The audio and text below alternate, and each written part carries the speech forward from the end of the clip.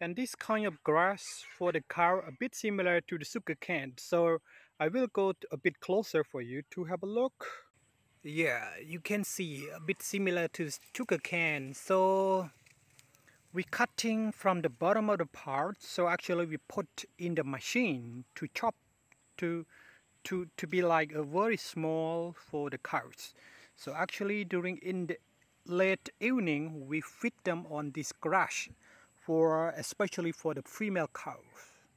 Yeah you can see a bit closer.